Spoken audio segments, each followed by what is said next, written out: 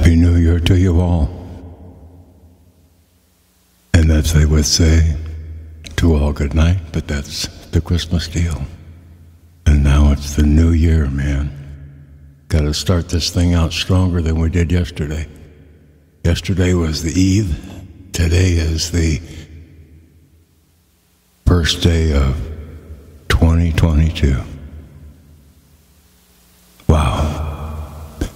Every year we feel a little something on this day. And every year we feel either better or worse. And at this time of our generation, I think it's great to feel stronger. Just plain stronger.